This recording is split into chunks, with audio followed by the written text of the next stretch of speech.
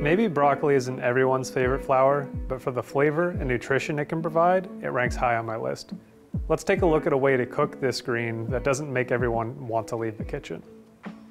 Broccoli is a really versatile vegetable that gets kind of talked bad about and prepared poorly. So today we're going to show you how to take broccoli, clean it properly, prepare it properly, and make sure that you know how to use this really nutritious and semi-controversial vegetable. One of the reasons broccoli gets a bad reputation is from sulforaphane, which is produced inside broccoli and gives you that gassy smell. What we need to do is clean it and process it appropriately so that we don't get that odd sulfur smell that we get when we overcook it, leave it out for too long, or put it in the fridge and wait a week to eat it.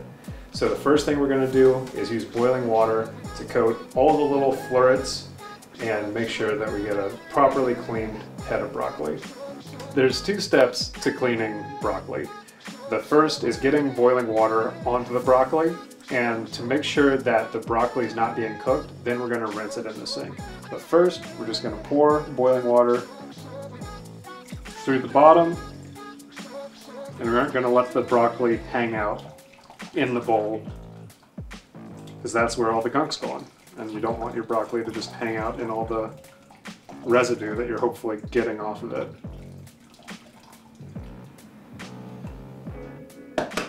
Now we're just going to take it over to the sink and rinse it out.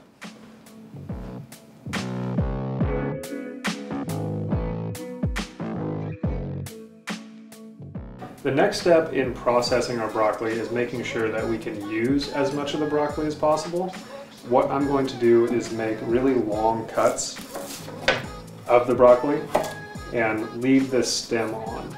I want to make sure that we have plenty of stem and when we're cutting the broccoli we want to make sure to get some flat edges because we want surface area contact with the pan. I've started to preheat the oven to about 450, 475, and I even put the pan in there. So when we put the broccoli into the oven, the pan's already hot, and that means we're gonna get a sear on the outside of the broccoli. So right now I'm gonna do a few more cuts just to make sure that we have a nice flat space for the cooking sheet to make contact with the broccoli.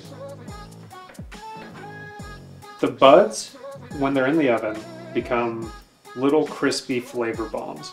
And what I want to do is make a cut through there and get a nice steak, a nice flat profile for the broccoli to lay on the uh, cookie sheet. And I want these to get some air and I want them to be able to crisp up in the oven. But also these little guys that get contact with the pan are so good and so flavorful. So we'll just make a couple more cuts and we're good. This is also a great time to note that you can cut broccoli and throw it in the fridge and it'll be good all week.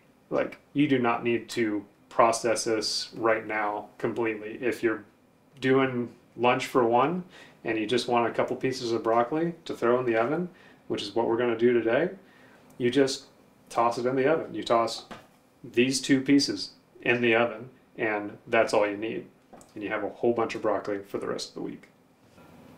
There are at least two keys to making sure that broccoli is prepared appropriately when you're cooking it in the oven. One of those is heat, because we want to make sure that the broccoli is getting cooked really quickly and at a high heat and seared to keep all the flavor in and to make more flavor, and oil, because oil is what's going to make that contact with the pan work. We're going to take some neutral grapeseed oil and just pour it into a bowl, toss it up, and then we're going to coat it in salt and pepper. Pretty simple. So, salt and pepper, pretty normal thing, right? Well, my partner, Ray, whose house this is and whose equipment a lot of this is, and uh, she graciously lets us film in here, uh, got me this for our holiday present, and it is a cast iron grinder, and you can take herbs and hard things. I just put it in here and just start grinding them. And it goes anywhere from coarse to fine just as long as you don't stop grinding. And it has these little teeth on here and it works really well for pepper. So So I'm gonna take just a handful or a few peppercorns and just kind of crunch them a little bit.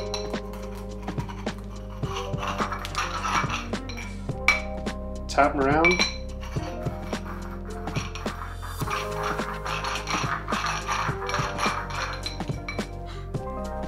And then we have ourselves some nice ground pepper of any size. And I just think it's a really cool little tool.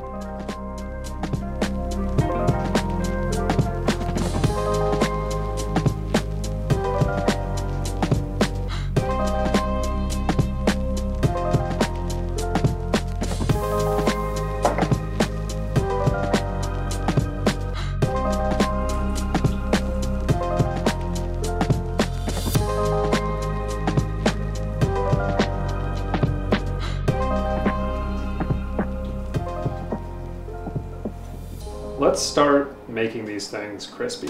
I'm gonna pull the cookie sheet out of the oven and you can, you're gonna hear how hot this pan is. We have our little cookie sheet and we're just gonna place all of these flat side down.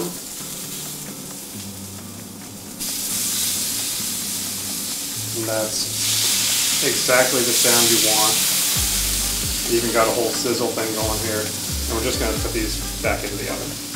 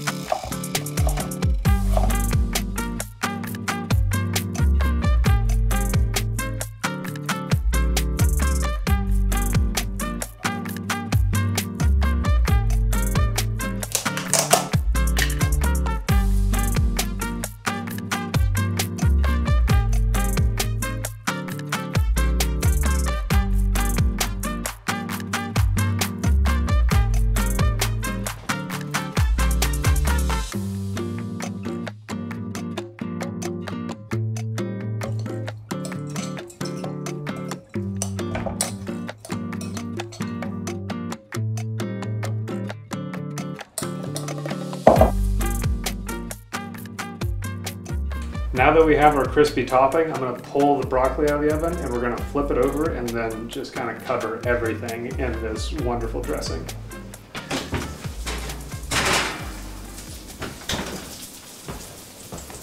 You can see the little bit of color that we have and you can definitely see where the pan has given us a nice golden brown.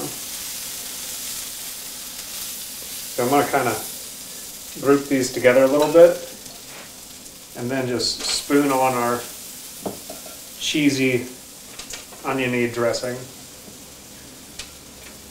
It'll be nice and crunchy. And we want some on the pan too, because that just makes little cheesy bites. Then we throw it back in the oven.